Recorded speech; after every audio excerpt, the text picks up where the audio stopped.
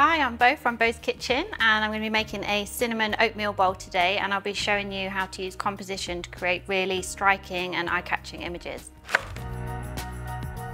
My oatmeal is nice and thick and creamy. I'm going to go over to the styling area and get working on our composition. I'm going to add my cranberry jam, really red and juicy, add lots of colour to the picture.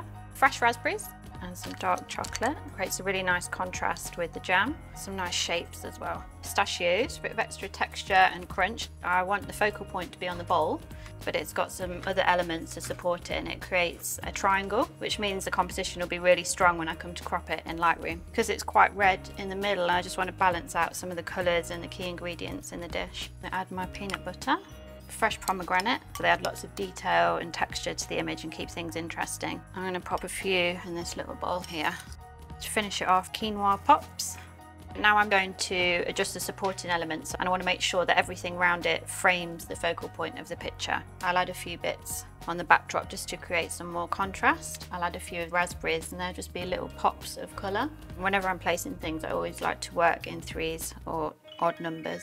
A few more pistachio sprinkles. Puts that little pop of green in there, which will look really cool when we come to edit. And then play around with the bowl and see which way works best. I'm really happy with this composition. I think I'm going to take my picture and then we'll give you a quick tutorial in Lightroom of some of the key features that I use to get the most out of my images.